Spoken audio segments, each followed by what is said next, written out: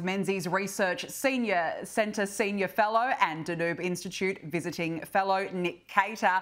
Nick, good to see you. Thank you for joining us. Look, let's start with Fortescue because its green hydrogen fuel fantasy is over. Up to 700 jobs will go after Andrew Forrest pulled back from the company's goal of producing 15 million tonnes of green hydrogen a year by 2030. Nick Twiggy has pulled the plug. He could not deliver on his green dream. What does that suggest? Well, look, he's woken up to reality, Danica, and the reality is that to make hydrogen, you need a lot of electricity, and in his case, a lot of green electricity, a lot of clean electricity, and he needs it cheap. Now, they've been trying to negotiate with companies for years now to try and get that price of the renewable energy at an affordable price. They haven't been able to do it. So uh, this is a really is a double blow for the government and for Chris Bowen. I mean, Chris Bowen built this whole idea of a renewable energy superpower and the idea that we were going to be making lots and lots of green hydrogen. The business case for that is clearly not there. But he's also built it on the case that renewable energy is cheap.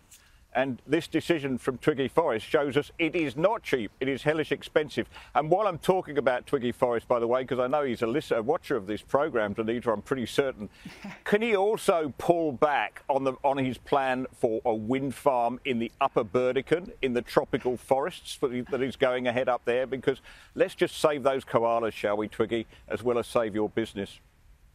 Well, look, hopefully he's watching. You've delivered the message uh, loud and clear to him. There you go, uh, Nick Cater. Fingers crossed he gets that message loud and clear.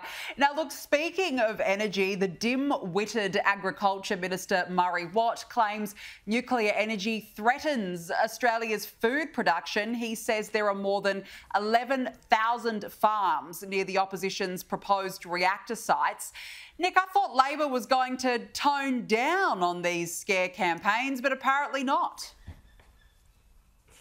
I'm your reporter on the spot for this one, Danica, because 150 kilometres down the River Danube that way is the Paks nuclear power station producing two gigawatts of power, which is making electricity very cheap here in Hungary.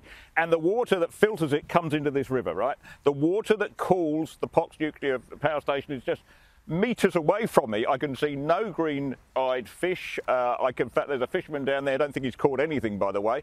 Uh, you know, this whole thing is a fantasy. I stood last week within 15 meters of a nuclear reactor.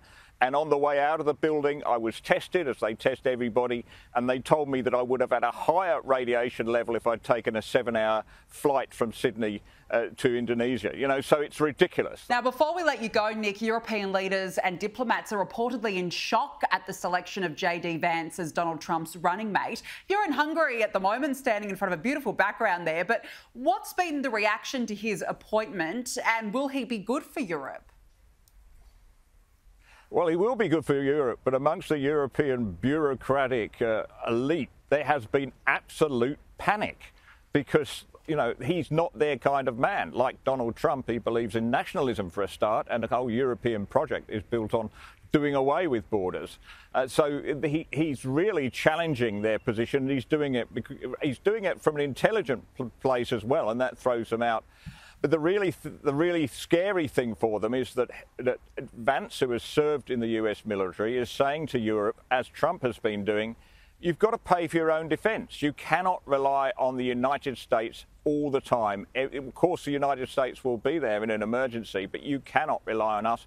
You've got to start dipping, dipping your hands in your pocket and shelling out some more euros for your own army and your own defence force. And that is what's really chilling the Europeans because at the end of the day, they'd rather have something than nothing.